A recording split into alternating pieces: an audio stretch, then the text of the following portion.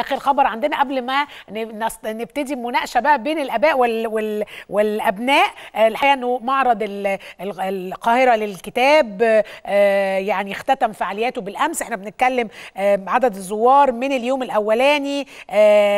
خلاص كسر حاجز المليون زائر. إصدارات كثيرة جدا في المعرض. كان ضمنها إصدار للزميلة العزيزة دكتورة نادية عمارة.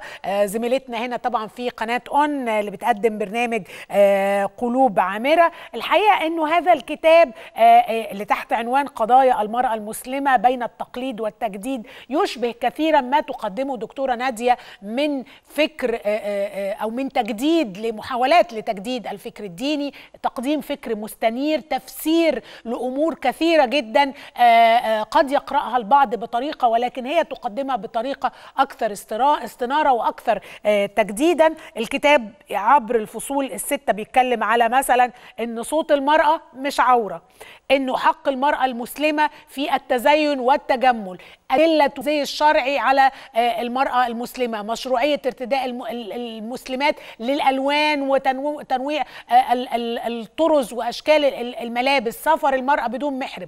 حاجات كتيرة جدا ممكن تعتبروها حاجات بسيطة لكن الحقيقة إنها لسه مثار جدل في مجتمعنا. عايزين نتقدم ولن نتقدم إلا بفكر ديني مستنير. كنا من امبارح بنتكلم عن الحجامة آه وكان معانا دكتور رمضان عبد المعز وبيتكلم إنه لا لا يوجد آه طب نبوي. هنا دكتورة نادية عمارة بتقدم صيغة مست- مستنيرة لكثير من الأفكار اللي الناس بتاخدها مسلمات ولكن هي ليست بمسلمات. نسمع رأي الدكتور الأستاذ سعيد عبده رئيس اتحاد الناشرين المصريين ورئيس مجلس إدارة دار المعارف في كتاب الدكتورة نادية ونخرج فاصل بعد ذلك. المعرض السنة دي حقق يعني نتائج طيبة الحمد لله آه، من الإقبال آه، من عدد الناشرين المصريين أولا ثم الناشرين العرب آه، والأجانب. يسعدنا طبعا التعاون مع الدكتور نادي عمارة كداعية إسلامية بشكل كبير ولها قبول عند يعني شريحة كبيرة جدا من القراء في مصر وفي الوطن العربي.